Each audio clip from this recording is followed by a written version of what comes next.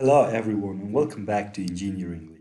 In today's video we are going to discuss how to design an isolated square footing using ACI 318. As you can see in the figure here, the footing is responsible for supporting the loads which come from the column, from the slabs and the beams. Besides that, there might be moments which the footing need to support in order for the structure to be stable and strength. The loads are transferred from slabs to beams and then from beams they come to the column. Then from the column they come to the footing. The footing spreads the load to the earth beneath it. In today's video, you're going to learn how to design such a square column footing using ACI 318.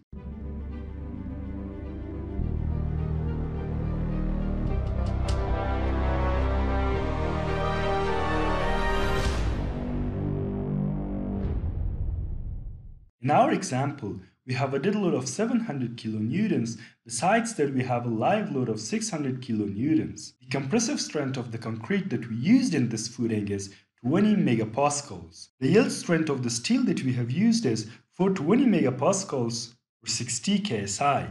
In other words, it's called a grade 60 steel as well. The column which is located on the footing is 40 into 40 centimeters. In addition, the lower face of our footing is located 1.5 meters below the ground level. The bearing capacity of the soil is given to be 240 kilonewton per meter square. Regarding the soil bearing capacity, as you can see in this table, which reference is given in here, there are different types of soils with their allowable foundation pressure in kilonewton per meter square. If it's a bedrock, the allowable pressure will be 575 kilonewton per meter square. If it's a sedimentary rock, it will be 190. If it's sandy gravel, it will be 145 and so on. In this example, we are given the bearing capacity of soil to be 240 kilonewton per meter square.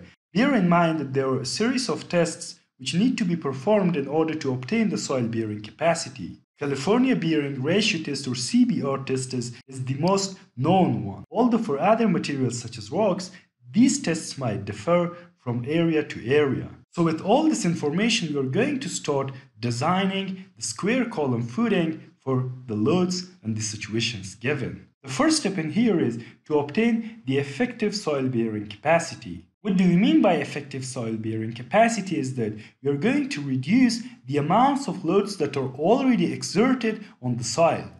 We will remove that capacity from our allowable capacity and the remaining capacity will be called the effective soil bearing capacity. In here, as you saw in the slides before, we have a one and a half meter thick soil layer which is supported by the ground beneath it. And besides that, we have the load of the footing itself. So these loads should be deducted from our allowable soil bearing capacity. In here, the effective bearing capacity will be the allowable bearing capacity, which was given 240 kilonewton per meter square, minus, which we assume in this case to be 60 centimeters, I will tell you about the logic later, times the unit weight of concrete, which is 25 kilonewton per meter cube, minus, since we had one and a half meter of thick soil, 0.6 meter of that gone into the depth of the footing. The remaining 0.9 meters will be the thickness of the soil times the unit weight of the soil which is assumed to be 16 kilonewton per meter cube.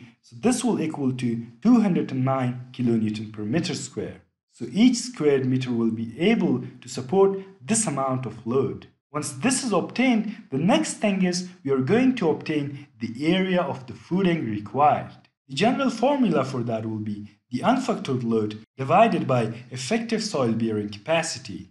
So the non-factored load will be dead load plus live load divided by the effective soil bearing capacity, which will be 700 plus 600 kilonewton divided by 209 kilonewton per meter square. This will equal to 6.22 meters square. Since it's a square footing, in here the area will be b square or b times b. When b square equals to 6.22, the value of b will be 2.5 meters. So this footing will be 2.5 meters into 2.5 meters. This is the first thing that we obtained in terms of designing our square column footing. Now for the area of the footing given, we are going to obtain the ultimate soil bearing capacity or QU. This will be factored load divided by area of the footing. Factor load as we know is 1.2 dead load plus 1.6 live load divided by 6.22 or the area that we obtained in the previous slide. From here we see that the ultimate bearing capacity will be 288 kilonewton per meter square. Once this value is obtained, the next thing is to obtain the thickness of our footing. The minimum thickness of an isolated footing as per ACI will be 10 inches or 25 centimeters.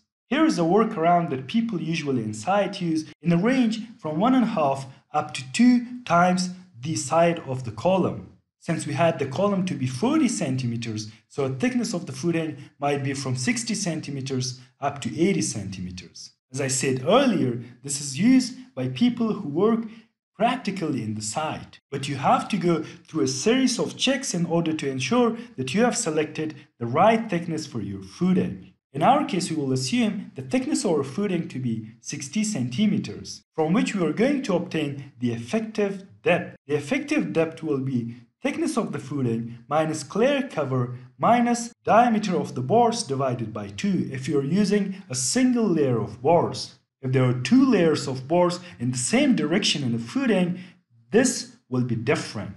The clear cover as per ACI is going to be 3 inches or 7.5 centimeters. The bars that we selected for our case are going to be 16 millimeter bars. So from here, the effective depth of our footing is going to be 60 minus 7.5 minus 1.6 divided by 2. From here we can obtain the effective depth to be 51.7 centimeters. Once this is obtained, we are going to check our footing for one-way or beam shear. As you can see in the figure here, the column and its loads are going to act downwards. However, the stresses produced by the ground is going to act upwards. This will tend to separate this part of the footing from the footing structure. Usually it's assumed that this distance is going to be is going to be equal to effective depth of the footing. And besides that, this angle will be 45 degrees. In order to ensure that we have the right amount of depth in response to one-way shear, we are going to use this method. First of all, as we said in the slide before, this distance will be equal to d, or as we had 51.7 centimeters, which in meters will be this amount. And the total distance from here up to here will be half of the footing minus weight of the column divided by 2. So as we know, the length of both sides of our footing was 2.5 meters. So from there, we can say that 2.5 divided by 2 minus 0.4 divided by 2. This will be equal to 1.05 meters. So in order to obtain this distance, we are going to subtract 0.517 meters from 1.05 meters. This will be 0.533 meters. In order to obtain the area of this part, we are going to use this formula. This length times the weight of our footing, which will be 1.3325 meters square. As we know the ultimate bearing capacity and we are going to multiply it by the area of this section, so we will obtain the one-way shear which is exerted on the footing.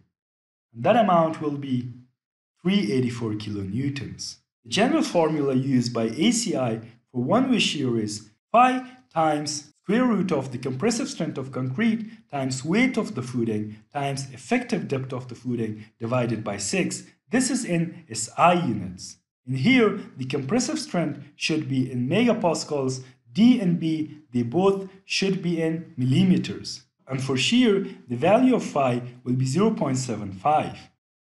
From here, we can obtain the value of D by multiplying this into VU1, which we obtained in the previous slide, and dividing it by this value. And in here, we can obtain the value for D to be 274 millimeters, which is way too smaller than 517 millimeters, and it shows that the required depth for one-way shear is 274 millimeters, while we have provided 517 millimeters, which is more than okay. Now in the next step, we are going to check the depth of the footing for two-way shear or punching shear.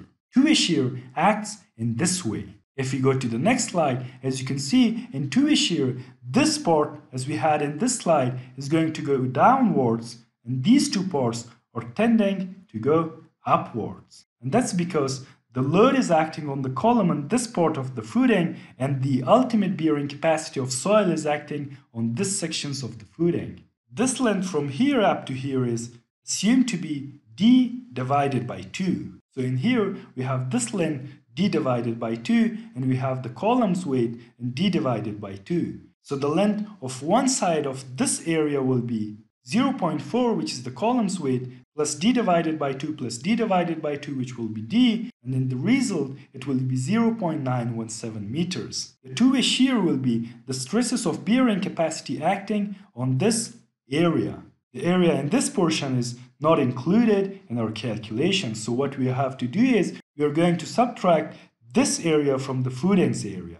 So we will have the two-way shear to be two and a half meters square, which is the footing area, minus this area, which is 0.917 meters square, times the ultimate bearing capacity. From here, we have the two-way shear to be 1558 kilonewtons.